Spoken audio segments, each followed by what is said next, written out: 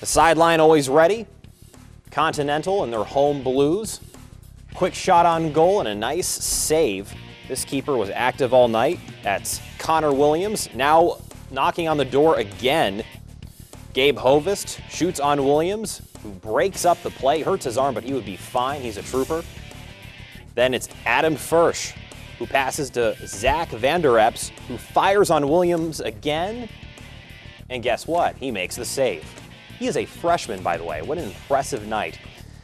And then Braden Recker, they just lift that one up to him, and an easy save for the experienced keeper. Now Gabe Hovest finally scores after peppering Williams all night as we take a look at our final score. Kalida wins on the road 2 to 1 over Continental.